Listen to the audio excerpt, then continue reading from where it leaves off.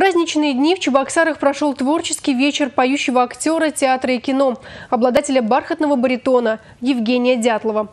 Большинству зрителей он известен по ролям в фильмах и сериалах «Улица разбитых фонарей», «Черный ворон», «Белая гвардия», «Копейка» и многих других.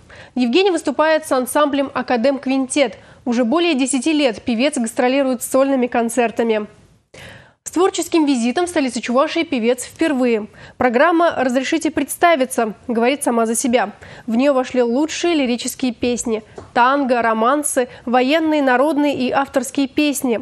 Своеобразный микс представила компания в составе Евгения, гитары, скрипки и баяна. О том, как заслуженный артист России завоевал общественное признание и стал известным певцом, Евгений Дятлов рассказал в эксклюзивном интервью нашей съемочной группе. Да, ну, начиналось с пения просто, с пения. Потому что я параллельно играл в театре, никому это было не нужно. Ну, вот, э, в телевидении, ну, там, в телевизионные дела меня не звали, потому что особо я сам не лез. Как-то мне все казалось, что ну ты или в театре работай, или приходи туда, в кафе Ленфильма, и сиди с утра до вечера, кури и всем на глаза попадайся, и, и задруживайся с помрежами, там, с этими, вдруг эти кто-то замолвит какое-то слово. В общем, это было не для меня. Вот, поэтому я тоже довольно поздно попал во все это а, телевидение, кинематограф там, и так далее. Ну, вот. А все начиналось, да, так вот с концертов, с малых залов.